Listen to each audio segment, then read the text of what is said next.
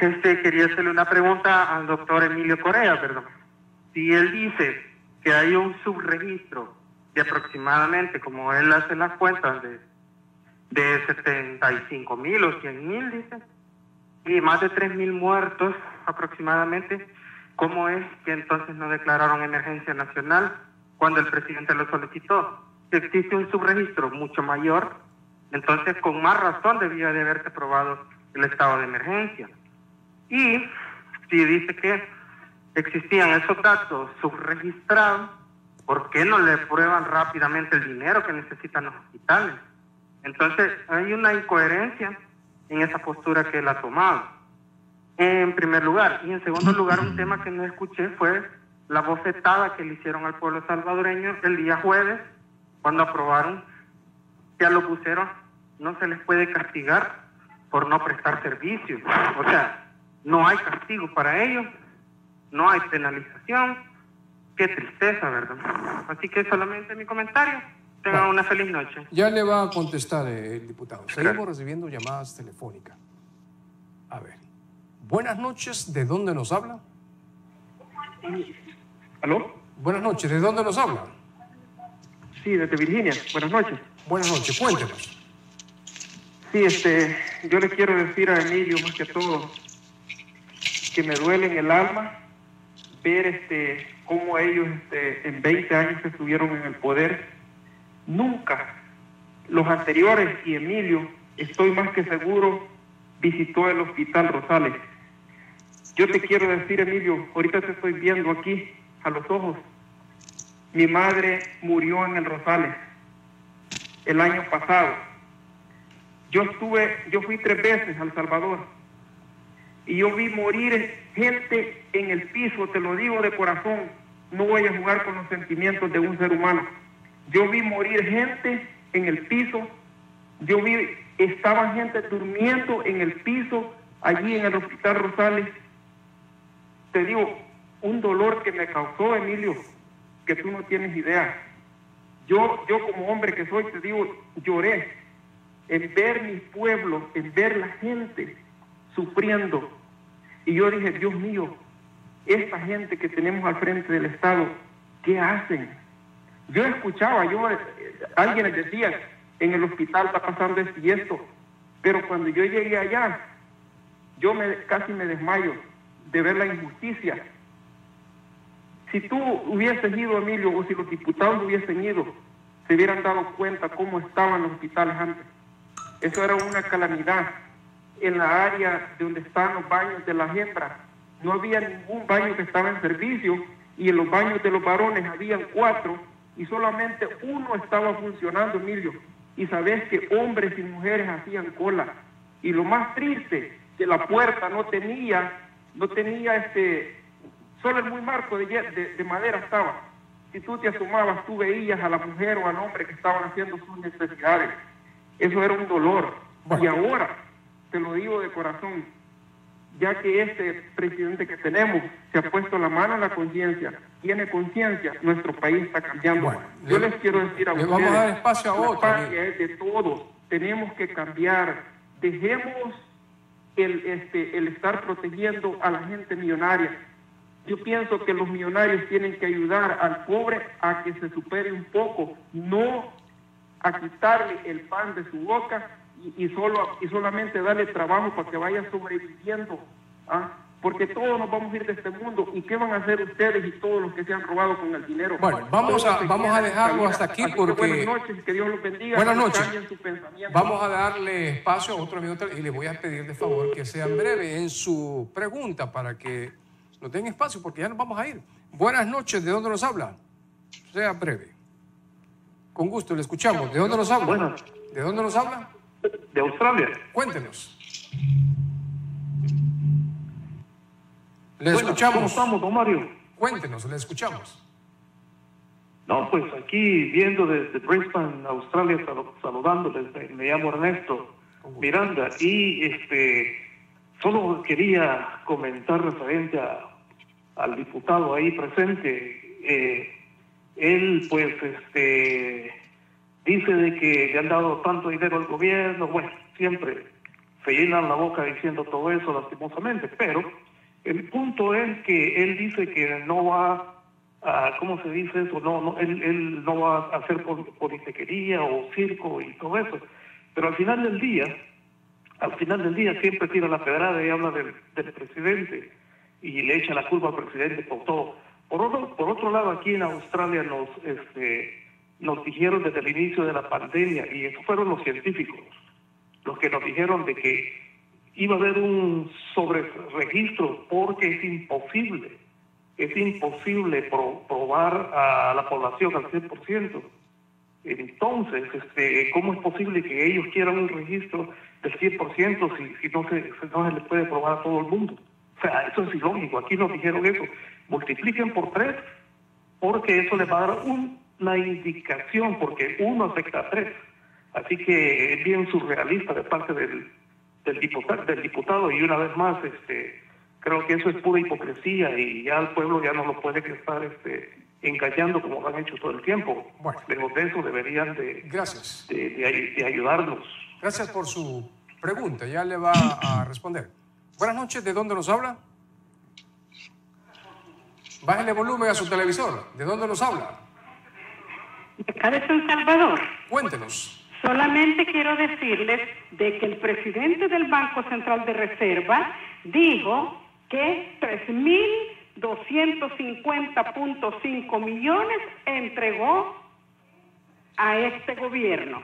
¿Verdad? Y que fue del 16 de abril al 31 de agosto cuando entregó ese dinero, ¿verdad? Y como acaba de pasar un expresidente del Banco Central de Reserva también, dijo que los, datos que daba el, el presidente del Banco Central de Reserva en ningún momento podían ser manipulados. Y cualquier presidente del Banco Central de Reserva iba a entregar el mismo dato, ¿verdad? Y cuando fue a entregar ese reporte, también el presidente del Banco Central de Reserva dijo que lo que estaba pendiente de esa cantidad para entregar eran 606 millones de dólares, ¿verdad?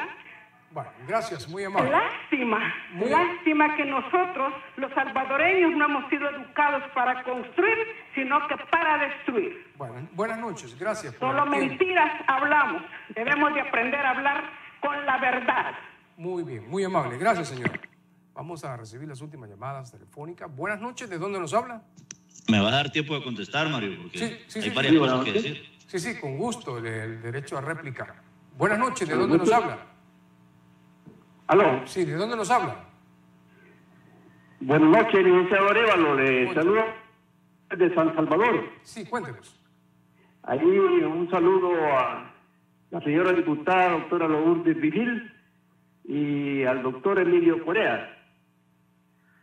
Yo quiero preguntarles a los dos cuál fue la deuda que, que dejó Arena y MLN, porque hablan de más de 20 mil millones de dólares.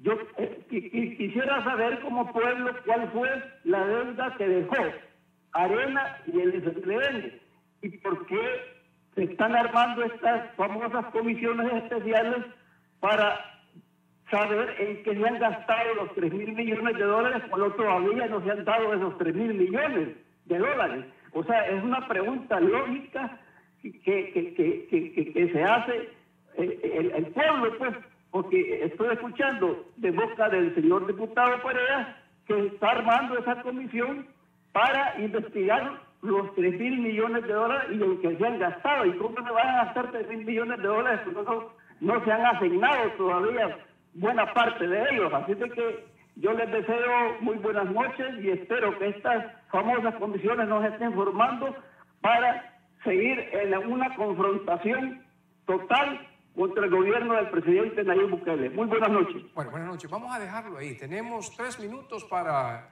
el doctor Corea y tres minutos para la doctora. Vamos a comenzar con el doctor Coreas. A ver, cuéntenos. A ver, voy por partes. Solo déjame hacer una cuenta acá. Hágala, hágala. 250. Aquí está. Vale. De boca del presidente Bukele, escuchen bien, de boca del presidente Bukele en la cadena nacional de radio y televisión dijo, me han asignado mil millones, después dijo 645 en CETES, 389 del Banco Mundial y 250 del BID. Esto totaliza 2.284 millones de dólares de boca del presidente Bukele. ¿No me creen? Métanse a la cadena nacional de radio y televisión que dio hace, ¿cuándo fue? El jueves. Él lo expresa con su boca. Uno. Dos. Decía un caballero, ¿por qué em, no le decretamos estado de emergencia si había subregistro? Le decretamos estado de emergencia nacional el 14 de marzo le decretamos una ley de restricción de derechos constitucionales. Es decir, que la gente no podía salir de su casa, no libre circulación, no podía cambiar de domicilio, eh, no se podía reunir pacíficamente. Pero ¿qué pasó? ¿Qué pasó? De repente hubo abusos. El caso de un agente de la PNC que agarró a balazos a un motociclista en Sonsonate, la doctora no me va a dejar mentir. El caso de un miembro de la PNC que porque un adulto mayor andaba en bicicleta en tiempo de cuarentena, paran al adulto mayor, hacen que el adulto mayor se cuelgue la bicicleta en el, en el, en el cuello, en el cuerpo, y lo llevan con la bicicleta cargando hasta una delegación policial. Ese tipo de abusos son los que se cometieron. Obviamente mis hermanos lejanos, a quienes yo respeto mucho porque obviamente si decidieron emigrar fue por buscar una mejoría, una mejoría, ellos no saben esto, ellos no lo conocen. Por eso es que de repente atacan. Ahora bien, el tema de la ley de buceros, aunque no viene al caso mencionarlo en este programa, yo quiero decir que yo no voté por eso. Quiero dar claro que no voté por eso. Decía otro caballero eh, que su madre falleció en el Hospital Rosales y que el Hospital Rosales está en condiciones deplorables. Totalmente de acuerdo con usted. No es culpa de Nayib Bukele, totalmente de acuerdo con usted. Este es un, es un problema viejo, viejo. Su servidor hizo su rotación por el Hospital Rosales allá por el año 2003, 2004. Ahí roté en el Hospital Rosales y ya estaba en pésimas condiciones. Entonces, este es un problema viejo. Ahora, hay plata para construir un nuevo hospital. ¿Qué ha pasado? No lo sé. Vamos a ver qué más. Decía el caballero de Australia, Ernesto Miranda. Fíjense lo que dijo Ernesto Miranda.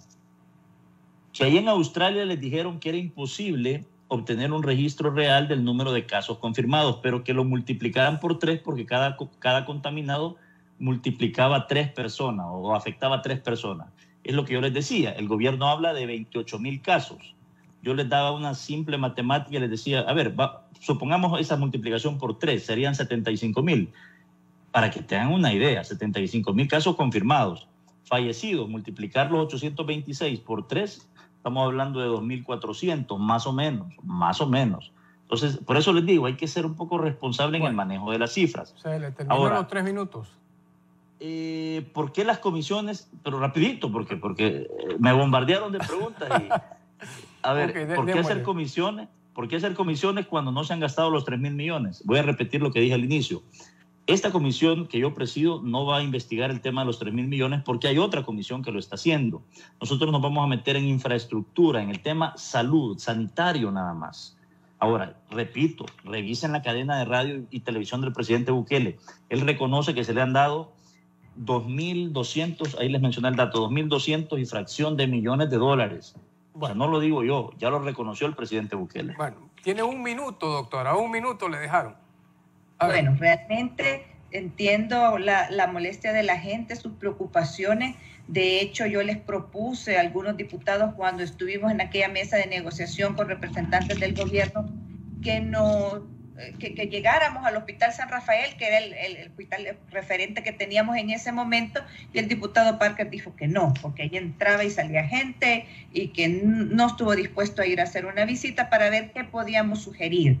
Yo, como les repito, no estaba de acuerdo en la creación de este tipo de comisiones, hay otras cosas que hacer, pero confío en lo que está diciendo el doctor Corea, que va a ser presidida por él, en que le va a dar un enfoque meramente técnico, científico, para ver qué podemos aportar, qué podemos construir y dejar para próximas generaciones inclusive el manejo por parte de nuestro gobierno, y digo nuestro porque el presidente llegó donde está con la bandera de la golondrina, pues hizo cierre de aeropuertos y de fronteras. Oportunamente, tenemos el Hospital El Salvador, que es una belleza, cuando parte de la oposición quería que hicieran carpas de circo, que estuviera nuestro personal ahogándose, el equipo de última generación arruinándose. Entonces fue otra de las medidas acertadísimas.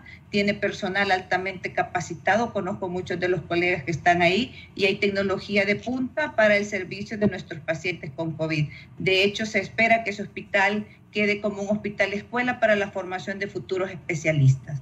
Entonces seguiremos ahí trabajando y aportando lo mejor de nosotros para el bien de la población. Bueno, ya me están, ya me están sacando aquí del set. Gracias, doctora Lourdes Vigil de Gana y al doctor Corea de Arena. Gracias por habernos acompañado.